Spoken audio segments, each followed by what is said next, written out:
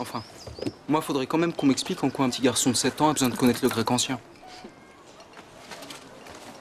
Mais qu'est-ce que vous faites là? Je ne vais pas continuer à fermer les yeux sur tout ce que vous faites pour nous. Je vous assure que ça n'est pas la peine. Si papa savait à quel point j'abuse de votre gentillesse, il serait furieux contre moi. Suzanne a raison. Vous avez de longues heures de route devant vous.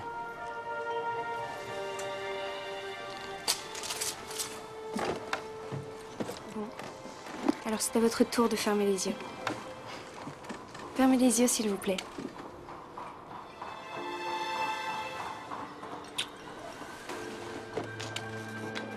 Notre neveu, Arthur, je te présente Monsieur Dubreuil. Oui, euh, Sa- Salomon ne voulait pas t'en parler, mais on a un petit problème. Bon, bon, ben c'est pas grave. À tout problème, il y a une solution. C'est juste un petit retard de paiement sur un emprunt légal. Un, un peu plus de 60 000 francs or. Et c'est moi qui m'en occupe. Combien? Ah oui, ça, c'est beaucoup d'argent. Mais, mais, mais rassure-toi, tout, tout va s'arranger.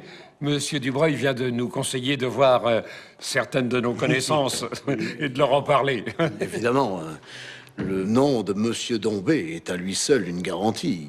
Si vous dites qu'il est prêt à vous avancer la somme, Monsieur Dombé Sa fille, que vous avez dû croiser, est comme notre propre enfant. C'est presque une affaire de famille. Nous sommes en quelque sorte des parents éloignés de Monsieur Dubreuil. Oh, éloigné, éloigné, pour l'instant. Non, non, non, mais il en est pas question. Il n'est pas question qu'on demande quoi que ce soit à Monsieur Dombé. Et pourquoi pas? Vous, vous ne savez pas qui est Monsieur Dombé Moi, je l'ai rencontré. Je peux vous dire qu'en aucun cas, il n'accédera à une telle demande. Florence n'arrête pas de nous parler de sa grande générosité. C'est- pas vrai, peut-être Non, non, non, non, c'est absolument impossible. en ce cas, je ne vois pas comment éviter la saisie. Hein? La saisie. Il doit y avoir une autre solution. Il- Il faut la trouver, mais je, je suis sûr qu'il y a une autre solution.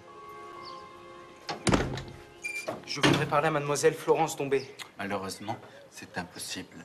Écoutez, c'est extrêmement important. Absolument impossible. Puisque je vous dis, c'est extrêmement important. De quel droit est-ce que vous... Inutile d'insister, monsieur. C'est non. Ah, Suzanne Suzanne, s'il vous plaît, faites venir Florence. Je dois lui parler.